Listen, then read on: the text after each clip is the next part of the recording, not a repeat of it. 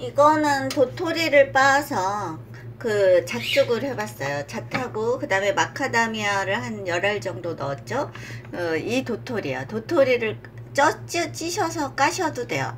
쪄놨다가 까셔서 빵이나 그런데 가루 내서 어, 같이 넣으셔도 돼요. 이게 지금 도토리 가루거든요. 도토리 가루죠. 이거는 제가 마, 어, 조그만 나무 망치로 빻은 거예요. 비닐에 넣어서 그렇게 하셔도 되고 그 아무튼 도토리 잣죽과 도토리 빵도 만드셔도 맛있답니다. 어, 한 두세 알씩 넣으시면 어, 떫은 맛이 많이 사라져요. 지금 도토리를 이거는 지금 삶은 거예요. 삶은 거거든요. 이거는 삶은 거고요. 그 다음에 요거는 생 도토리예요. 요거는 삶은 거예요. 어, 제가 찜기에다 찌거나 삶거든요.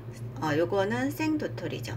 이렇게 어, 가루를 내셔서 어, 가루를 내셔서 넣으시면 돼요. 그러면 도토리 잣죽과 그 다음에 도토리 도토리 빵도 집에서 오븐만 있으면 간단하게 만드실 수 있고 어, 떨거나 그런 맛 없이 맛있답니다. 감사합니다.